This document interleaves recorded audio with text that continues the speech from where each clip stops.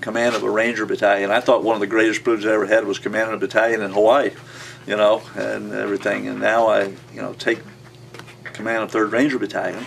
And as I've said, you know, yeah, it was under tough circumstances because of the friendship I had with uh, John, who passed away with the helicopter crash. But, you know, I still knew that what John would want me to do, and John would want me to just pick up just like he was there, you know, and everything.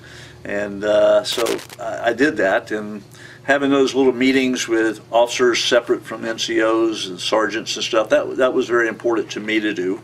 And uh, I, I did something that uh, with the officers it was sort of easy, you know, it really was. With the NCOs, sometimes they get a little defiant on you a little bit. And when I was talking with them, it was very uh, unique uh, for them because I did something they, they said they'd never heard anybody have to do before. And that was when I said, okay, I want y'all to understand something that you have to do. And I said, you, you guys are great at what you do. There's no doubt, but there's something I want you to help me with. I want to be able to know that when I come out to training and it's two o'clock in the morning and dark, I want to know who the ranger is that's laying down there beside his buddy. And I want to know who he is. I don't want him just be ranger. I want to know who he is. I expect every one of you platoon sergeants, and a platoon sergeant, sergeant first class, has about 45 rangers in that in that platoon. And uh, I said, I expect you as the platoon sergeant to remember they're not just rangers, they're your kids. And I expect you to know their first name and their last name. I expect you to know if they're married or single. And if they're married, I expect you to know the wife's name, and if they're kids, the kids' names. And if it's single, I expect you to know mom and dad's name so that you can relate to them. And they thought I had lost my mind, in all honesty. They said, sir, we've, we've never had to do anything like that. I said, I know. I understand. But I'm not worried about what you did before. I want you to do it this way. I said, because when I go out at training at night, I want to crawl up beside that young ranger, and I want you to have already told me who it is so I can say, hi, Ranger Smith, how's it going tonight? And I did that quite a few times, and it was amazing because they, as soon as they heard my voice, they said, sir, why, why are you out here? I said, because you're out here. This is where I should be. And then if it was one that's married, I'd say, how's your wife? How's Mary doing? Because I've already been told by the sergeant. See, I did that, and some people think that gets too personal. Well, it, it, you have to have your own way. And my way was I really wanted to make them understand how important they were and that it wasn't just them. We're a gigantic family. And when you're a big family, you got to know each other. And it was, it was amazing because I can fast forward to some of them who retired, every one of them retired as command sergeant majors. That's the kind of people I had. That's the highest rank you can have as a non-commissioned officer, command sergeant major. And I remember one of the times when I got uh, came back, and uh, they were still in 3rd Battalion. I had given up command, etc., and then come back, and three of them got me to side one night. It was at a big barbecue thing there at Fort Benning, and I was there at it, my wife and I, and uh, they walked over and said, "Sir, we need to talk to you about something." I said, "Oh, okay, here we go again, huh?" And uh, went back to old days. I thought. They said, "You remember that thing you made us do?" when we were platoon sergeants about the soldiers and we thought it was a little too personal. I said, yep.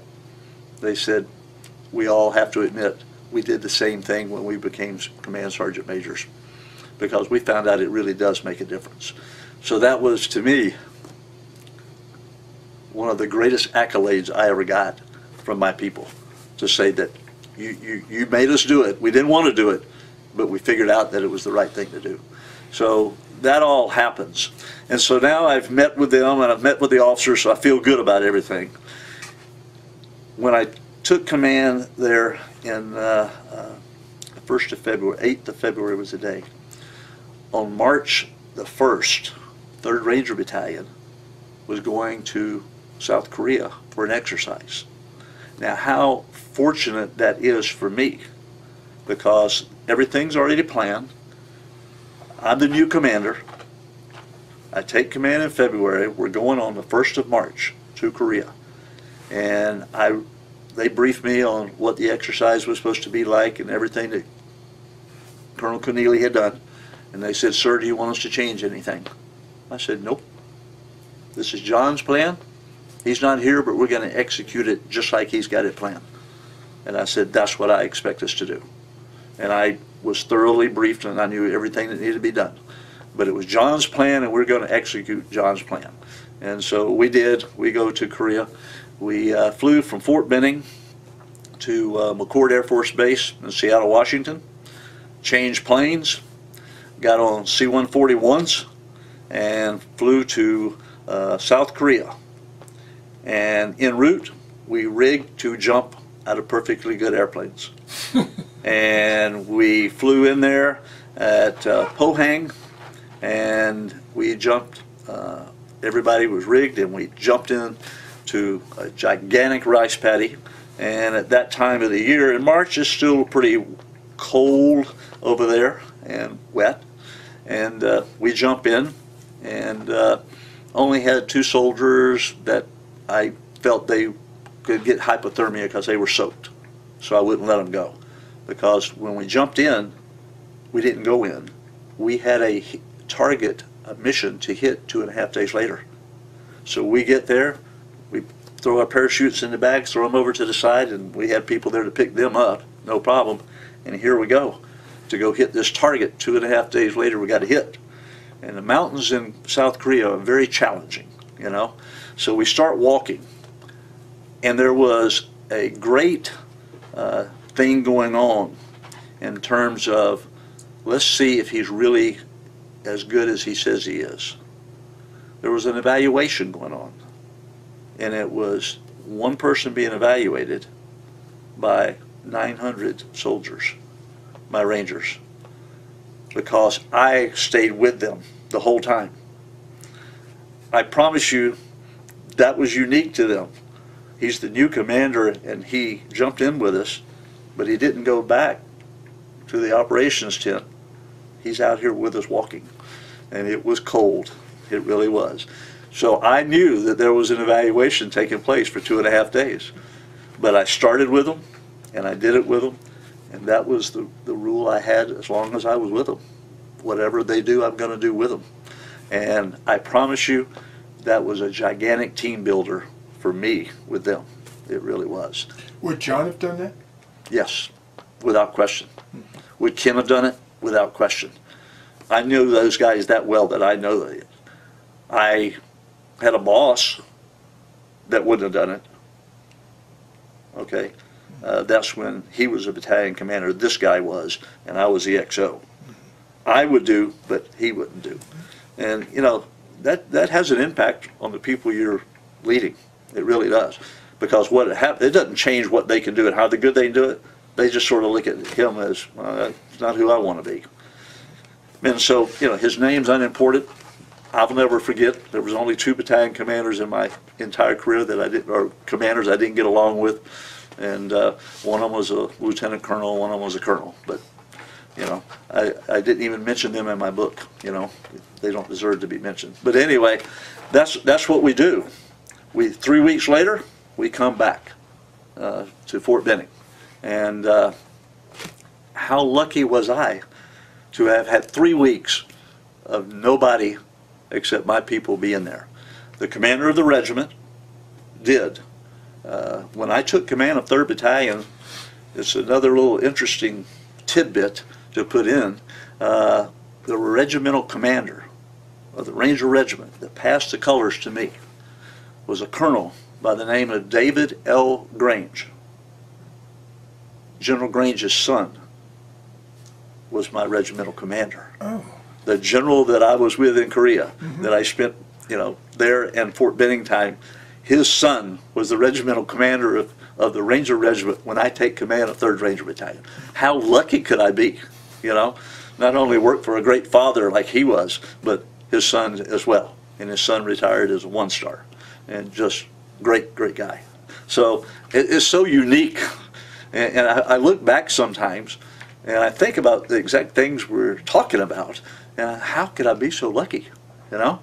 uh, to have these opportunities and, and everything. And uh, so when we did the exercise, Colonel Grange, he jumped in too with his guys, with his small element. He didn't wasn't telling me what to do or anything. He just wanted his guys, a smaller element, obviously, is you know, it's regimental headquarters of people, smaller by far, but he wanted to be there, and I thought it was great because he could critique me if necessary, you know. And so we we got along great, really did. How fortunate could I be, you know? So anyway, uh, we do that, and then we just pick up and start doing regular training and everything like you're supposed to do every day, and. Uh, one of the things they learned very early about me, I had really learned it from General Grange, watching him in Korea. General Grange over there had a requirement for everybody in the division of the 2nd Infantry Division of 20,000 soldiers. You would do a road march, a 12 mile road march, every quarter. And that was his requirement. Now, generals are real good at putting requirements out. And there's two kinds of generals put requirements out and don't do them, but they make the requirements. And there's generals, very few, that put them out and do it. General Grange was what I learned from. He believed that his requirement for everybody to do a 12 mile road march every three months was very important so that he should do it too. And so I always had to have on my calendar units that were doing road marches. And usually AI would always pick one out and tell him ahead of time. I remember one time he walked by my desk, so I said, Danny, he said, I haven't done a road march this month. I said, sir, I got it covered, don't worry. And so I would always call the unit that, that I told him was going to go. And at 5 o'clock that morning, you're at that unit. And he road marched with them. But what was amazing about it, and it was probably the first great education I got from him, don't do, don't ask people to do something you can't do. So he's out there road marching. He's the two-star general, same equipment the soldiers have on. And so he's road marching. He starts at the front. He stays up there about five minutes, and then the commander, you know, he talks to him, and then he starts walking back. He goes about halfway back, and he starts talking to every soldier individually as he walks up. Just talking to them. Then when he gets to the front, he'll say something to the commander. It could be a company commander, battalion commander, it doesn't matter. And then he'll go all the way to the back and walk all the way forward, talking to all of them again. So our 12 mile road march was usually 16. And the man could walk forever. Unbelievable. And uh, it, it, it taught me something called respect for those people you're leading. And that's a big word to me. If you want to be respected as a leader, as a commander, you need to earn that respect because they're not going to give it to you easy. And the best way to earn it is never ask them to do anything that you can't do. I learned that from General Grange. And then I've got his son as my commander when I take command of 3rd Battalion. It, it, it, people, I say, talk about this sometimes to people, and they say, are you really telling the truth about all this you did? I said, honest, honest to God, I promise you, I know it's right, you know, and that's what I, when I did write my book, there was things in there like that. Hmm. And so here I take command and we're doing this and training's going great, everything's good. PT, when we get physical training in the morning, I'm standing right there and I go over here and do PT with this squad over here and the sergeant major goes over there and does it with that squad there. And my guys, when they saw me coming, they loved it because I really believe this. They absolutely wanted to me to be with them because they wanted to try and hurt me. I knew what they wanted to do because these guys were, I mean, they're studs. And I don't care if you're the 19 year old Ranger or you're the 39 year old Ranger, they're studs. They're mentally and physically tough. And I promise you, every time they wanted to challenge me and see could I do what they were doing. And they finally found out, especially about running, that I could smoke every one of them if I needed to. And I, I love running. I've done 27 and a half marathons, 12 marathons, three ultra marathons, 62 and a half miles long one time. So I, I, I really loved it. And they were the ones that made me better because if I couldn't be better and be with them, I shouldn't be there. Land, we're on them, and we go to Fort Bragg. We get to Fort Bragg, General Garrison has already gone forward to Mogadishu to interface with the UN element over there. Uh, and that was fortunate for us. There was an American two-star general, General Thomas Montgomery, who was the overseer of all of the UN forces, including American forces, you know. That was a blessing in many ways. If it been a foreign, if there was a foreign three-star, he came one time. So that was a blessing in the long run. But anyway, General Garrison's gone over there with his group to start interfacing and figuring out what to do, what's going on, etc. We get briefed by his deputy commander. He calls just the leadership in. And he said, okay, there, this is what's going on. There's been some changes to the task force. And we're all sort of stunned. What do you mean changes to the task force? He said, well, they've given some guidance that we have to deal with that we really don't want to and didn't want to, but we have to. He says, uh, first thing is this, we had 551 people trained and ready to go on this mission. Count my guys, Delta guys, aviators, etc. 551. He says Task Force Ranger has been capped now at 450. They took 101 people out of our task force. And yes, I was one of the people that raised my hand quickly and said, why? That's stupid. And the answer was, they didn't want this to look like a buildup similar to Vietnam. Now, any Vietnam veteran would hear that and say, you have got to be kidding. But that was exactly the words they used. They didn't want it to look like a buildup similar to Vietnam. Every American knows there's no similarity between fighting in Mogadishu, Somalia, and fighting in Vietnam. None. That was a move, I think, to make it very challenging for us. But we are special operators. We have brains that are very, very strong, and we're going to find a way to do this. Delta Force didn't lose any of theirs. That other platoon of 45 that I had out of A Company, they didn't go. They sat right there. And the day we left, I made them stay there for three days because I knew the exercise was going to be over and then they could go home instead of going back to Fort Bliss. But you want to talk about 45 really angry young men? That's 45 of them right there. And that 45 could have made a difference. There's no doubt. Aviators, the number of helicopters that they show in a movie or anything like that, they're right. There was no extras. And usually you have extra helicopters. You have a spare or two in case something goes down one maintenance-wise. No, there was no spare helicopters. So the maintenance had to be really, really good because they had to use those helicopters. So we now have gotten down to that 450, okay, which was a real shame. Uh, the staff size went down, made much longer hours for people to do things. So anyway, uh, so we do that, and we get over there, and uh, General Garrison briefs us on what's going on, and he says we got to be ready to go. So we we land there and everything, and people back in the states still don't even know we're there, which is okay. We don't want them to know we're there, really, you know. Uh, my wife and, and none of the ladies and back there knew, and I had told the soldiers that we're going to go back. You don't open your mouth about one thing. It'll happen sooner or later, don't worry, but don't open your mouth. So we land that day, uh, the plane I'm on, and uh, I get off, or no, I, before I get off, I'm standing there getting my gear together, and this UN guy comes on board. He's an American soldier, though, it's an American uniform, but he had a blue beret on, which means UN. And so he gets on the plane, goes to the cockpit, and then he comes out. He says, Colonel McKnight here? I said, right here. He says, uh, sir, I need to talk to you a minute. He introduced himself. He was uh, a major, Rick Stockwell, as I recall the name. And he says, uh, sir, uh, I need to talk to you a minute. He said, uh, you need to get off the plane with me first, uh, just you and I. and I said, why? He said, well, the media is out there waiting to interview you. Excuse me? I said, he said, the media's out there to interview you. I said, how do they know? He said, it was announced on the nightly news last night the Special Operations Task Force had departed for Fort Bragg, from Fort Bragg, North Carolina, most likely headed to Somalia. I said, yeah, that really made a lot of sense, didn't it?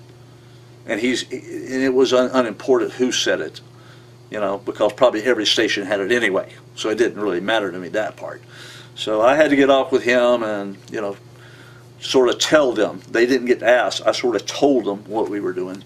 And then one, they had one question, and one question was asked was, "Are you really here to capture Mohammed Farah Aidid?" And my response to that was, "I'll put it this way: If we see him out there on the streets, yes, we will capture him." In the conversation, we all get off, and we move into a hangar that uh, we had to clean all the rats and everything out of it first, but we got that done, and that's where we lived for most of the time we were there.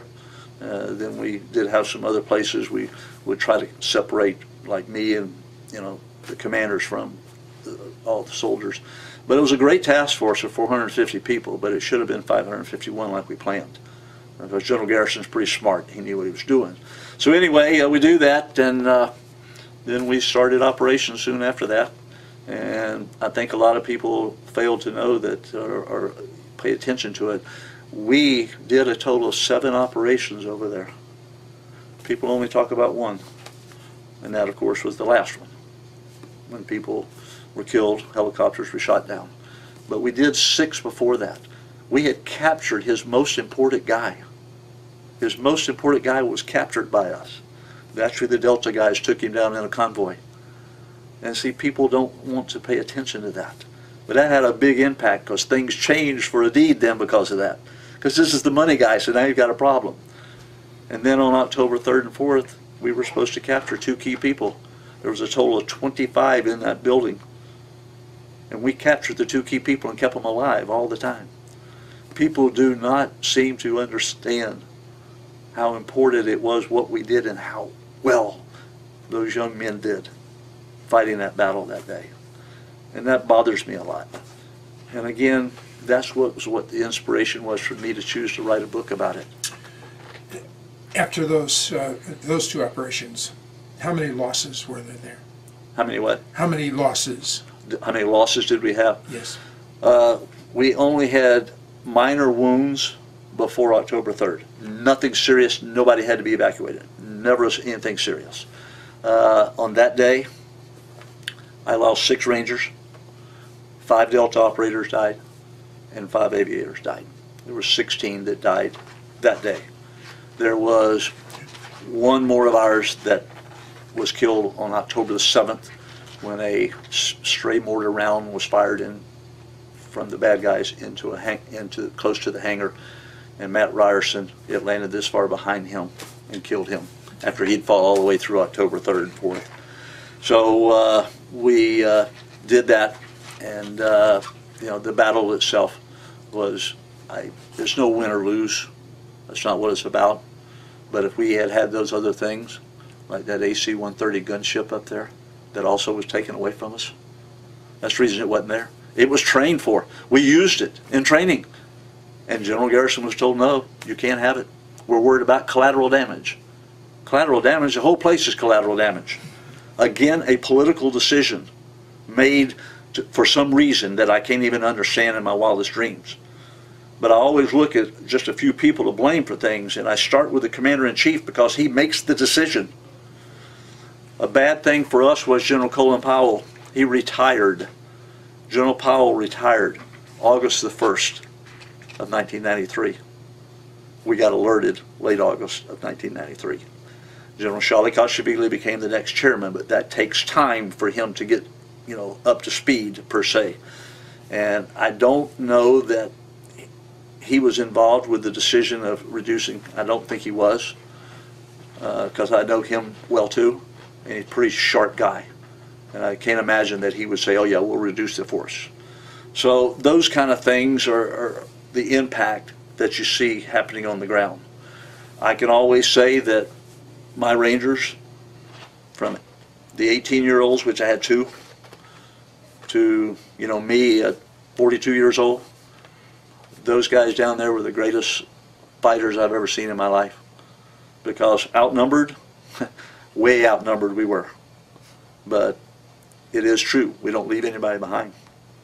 And what the two Delta operators did at that second crash site, they gave their life. And they ended up saving Mike Durant's life. Everybody else, unfortunately, was taken away and killed. So to losing 16 that day was tough. Losing the 17th one, you know, a few days later. And there was also two from the 10th Mountain Division who were with the United Nations force.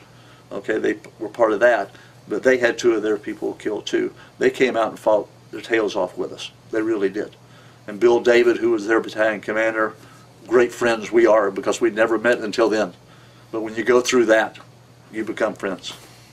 So How close were you to that action?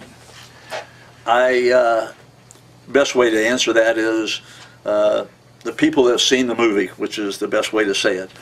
There were the Humvees going through the streets. The lead vehicle, I was in the front right seat of the lead vehicle. And it got shot up pretty bad. Uh, It just so happens that it's in this museum now. That's where I wanted it to be. Uh, One of my soldiers had it for 22 years and he was fine trying to find a way to give it to me. But for a long time, I wasn't around where he could give it to me.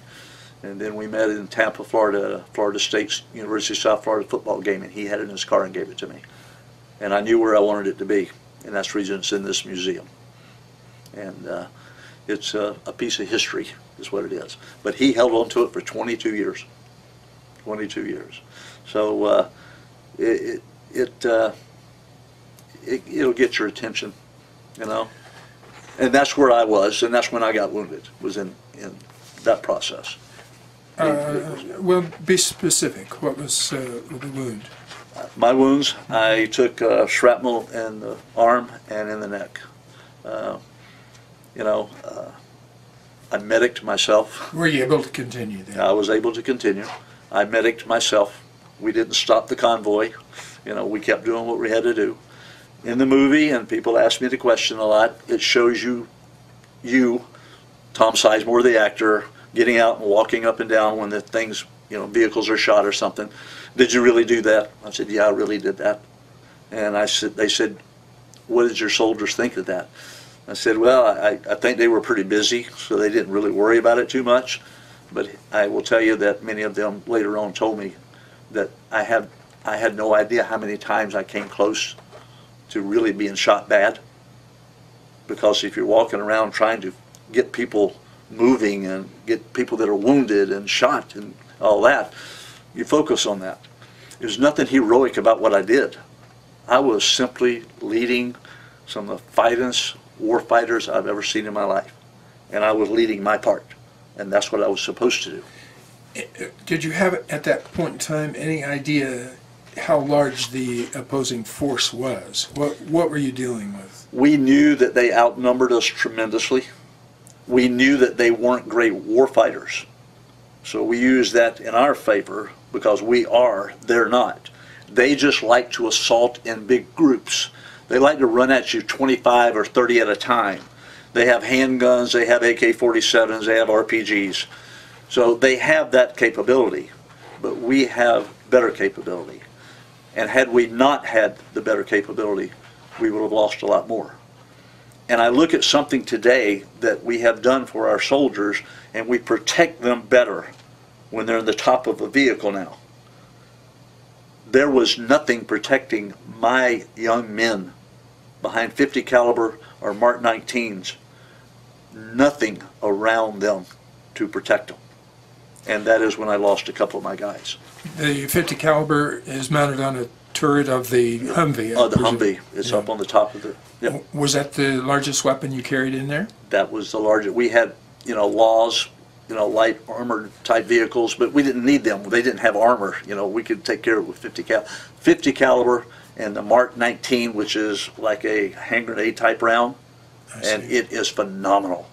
And we really, really nail a lot of things with that. And the, it's just unfortunate the the young men that got wounded being in the top of the turret because they had no protection. And Sergeant Mike Pringle was one of them. I mean, one night on our second mission that we went out on, a round hit here, right by, grazed his head, went around the back of his helmet and fell out. I told his mother that He survived? he survived. Oh yeah, he just had a slight wound. And I, when I talked to his mother uh, and dad, and I asked them how did they react when they found out about that, and his mother looked at me and says, I knew he was. That day when it was all over, uh, October 3rd and 4th, uh, we got most uh, everybody in, a lot of people in on the 3rd, but on the 4th, we had everybody in except the ones that were taken away from the helicopter, the second helicopter that went down. And that was, you know, Mike Durant was saved by Randy Shugart and Gary Gordon. And they went back out there to try and get the others out, and by that time, there were so many Somalis coming at them, it was unbelievable. And uh, uh, Ray Frank, who was the co-pilot, he was alive. The crash didn't kill anybody. The two crewmen, Tommy Fields, Bill Cleveland, the crash didn't kill them. They were killed because they were taken out of there by the Somalis and awfully, awfully treated and killed.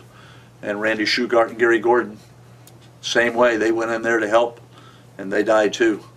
And that was just at that helicopter. There's five people. That day totaled out at, uh, you know, uh, my six, five Delta and five aviators. That's 16. Two tenths Mountain, and then one that died later. So a total of 19 casualties. And when you think about 19 casualties, though, compared to how many people were shooting at us, which I promise you the number exceeded a thousand people that were firing, firing shooting at us at different times. Uh, it's, it's amazing that more didn't die. It really is. Uh, as far as wounded, I think the, the total number was right up around uh, 80 something that were wounded in one way or another. I mean, I was wounded, but I couldn't, I was still competent. I could still do what I had to do, and I had a lot of them that were like that. So I, I guess in a way, we were fortunate that we only, only had 19 killed because it could have way been higher. There's no doubt about it, no doubt. So I, I look at that, and then the next thing we have to do is board planes and go back home, you know? And uh, we get back, and we arrived at Fort Benning, our plane of my guys, and I've looked at that, and uh, it was a, a lot smaller than it should have been. But we did have the ones that were wounded that we'd already got out of there. And so it was a really small force, unfortunately. And so uh, we have a nice little welcome and everything. And then, uh, you know,